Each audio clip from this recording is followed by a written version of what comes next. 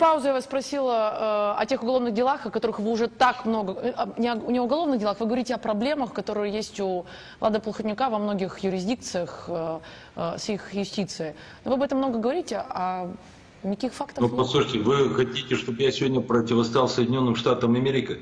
У Плохотнюка есть два варианта сегодня. Первый вариант. Это американцы решат его заменить на кого-то другого и расправиться с ним, как расправились с другими своими клиентами. То есть все это станет публичным, все то, о чем мы с вами говорим, как минимум последние два года. И второй вариант, это в Молдавии будет сценарий Армении, когда объединится диаспора, которая находится в России, в странах Евросоюза, приедем в Молдавию вместе домой, и за три дня Влад Плохотнюк сам уедет, понимаете? То есть других вариантов нет.